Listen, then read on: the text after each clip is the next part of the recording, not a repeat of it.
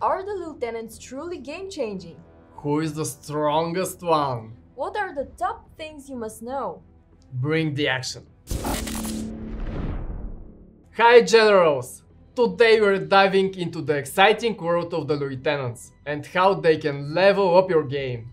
Before we start, don't forget to look for the hidden code that you can redeem for some sweet rewards via the link in the description. Let's get it started. The lieutenants bring a whole new level of strategy and power to your battles. Upgrade their rank, activate powerful skills, and deploy them wisely to dominate the battlefield. The lieutenants are new invaluable characters that you can attach to your commander convoy, improving the army bonuses and providing impactful special skills. And they're immortal. Really? Yes, I mean, they don't die in combat, so yes. 06 lieutenants released in Update 46 have a unit type specification. The type of each one is displayed under their portrait. They all have two game-changing special skills, adding an extra layer of diversity and customization options. This makes each lieutenant unique, allowing you to tailor your army composition and create dynamic strategic combinations. What helps with the tactical versatility further is the fact that you can deploy not one, but two lieutenants to the same attacking army, but they must be from different unit types. Just remember that the same lieutenant can join only one convoy at a time. You attach a lieutenant to an army via the dedicated button in the deployment menu. You can also add lieutenants to the army presets. You're able to put one lieutenant type per slot. Now, back to the special skills. The main one opens automatically when you unlock a new lieutenant. The second one is activated when you reach the certain lieutenant rank. On top of their special skills, every lieutenant has two sets of stats, baseline and specialization. Each lieutenant has two baseline stats which are increased with every new level. The specialization bonuses are connected to a skill tree, which we will discuss a bit later in the video. Before we continue, let's pinpoint some of the important terms we mentioned. The rank of the lieutenants is represented by the background color, as it's shown here. An increase in rank unlocks a second skill and improves the bonuses from the specialization tree. There are three sub-ranks before every rank upgrade. You have to upgrade all three in order to rank up the lieutenant. Sub-ranks also provide points that can be spent to unlock specialization skills. The last term is the levels. It not only improves the baseline stats, but allows you to progress to the next rank. Give me an example of some of the lieutenant stats. We will look into every lieutenant in a bit, but first, let's see how you get your hands on these powerful heroes. You recruit and manage them through the new Lieutenant's HQ. Your base needs to be level 22 to build it. Within the Lieutenant HQ, you will find two sections, Lieutenants and Recruitment. The Lieutenants section displays all available lieutenants, both locked and unlocked. Recruitment is where you can get what you need to unlock new lieutenants and upgrade the ones you already own. Speaking of, you obtain lieutenants by collecting their specific lieutenant card shards and rank up currency. When you have the required amount, the character unlocks automatically. The lieutenant cards are essential fragments different for every lieutenant. In combination with the rank up currency, they're used not only to unlock lieutenants but also to upgrade the rank and sub rank of the ones you already have. But to rank them up, you need to increase their level with XP vouchers. You can invest them directly through the Lieutenant Inert section using the slider to select multiple vouchers at once. You can get the mentioned cards, rank up currency and vouchers by using the buttons in the recruit section of the Lieutenant's HQ. To do that, you need Lieutenant Recruit shards which you can get from various channels. You will also have one free recruit action every 24 hours. This will give you an even better chance to get the Lieutenant shards you need. But the recruit is not the only way to get Lieutenant card shards. We will launch Lieutenant-specific festive chain events allowing you to win shards for a particular Lieutenant every week. And there will also be events that award you for upgrading your new soldiers. How exciting! And I think it's time to review the special skills of the Lieutenants we have. Before we start, keep in mind that you can see the actual stats of every skill on the screen. Let's kick things off with Wolfgang, the armor specialist who knows a thing or two about turning the tide of the battle. His first skill, Resolute Technique, is a defensive game changer, with a chance to shield friendly units for a percentage of the damage dealt when the tanks are attacked. But that's not all, because Wolfgang's got another trick up his sleeve. Skill number 2 is called Malware Remover. It ignores a certain amount of debuffs coming towards shielded friendly units.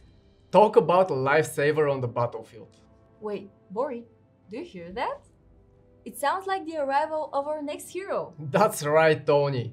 Welcome Berserk Hulk, the Assault Specialist. His first skill, Kill to Heal, grants HP to his assault units when they destroy a certain number of enemy units in a single hit. And if that's not impressive enough, the Eye for an Eye skill gives his assault units additional damage when they take out enemy units with a single hit. Now, get ready to meet Lady Winter, the Ice Cold Aerial Avenger. Her first skill, Vengeful Birds, gives her aerial units a chance to counterattack when they're attacked. Lady Winter's second skill, Evasive Maneuver, grants the aerial units with a chance to dodge. Here comes Sweet Tanya, the artillery mastermind.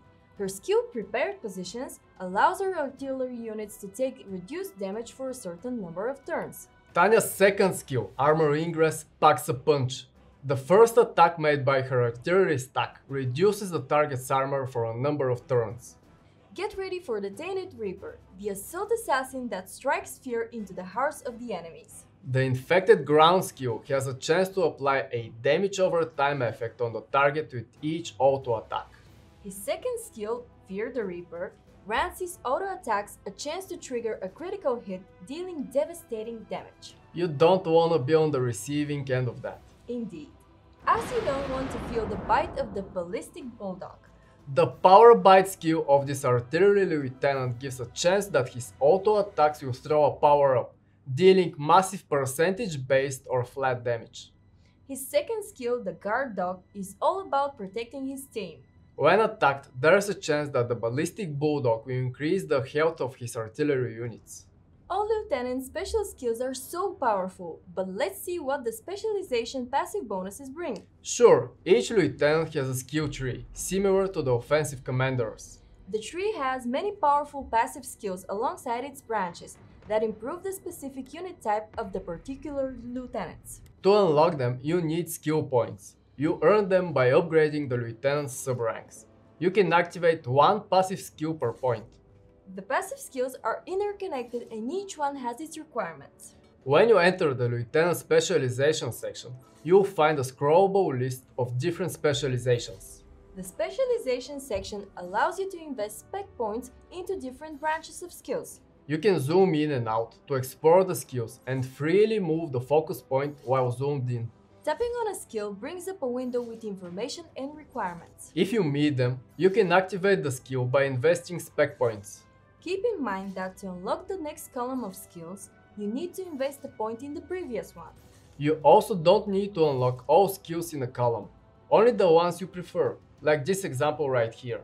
Once activated, the skill bonus will automatically increase based on the lieutenant's rank. The specialization bonuses appear in the lieutenant's menu when a skill is activated, reflecting the current and next rank of the active skills. You'll see an indication of the current and next bonus amounts represented by the color of the rank. It's all cleared on the specialization side, but how do the lieutenants act in battle? So, when a lieutenant is a part of a battle, their respective units have an indication over them. Lieutenant skills will flash above the unit when it's activated, similar to buffs or debuffs.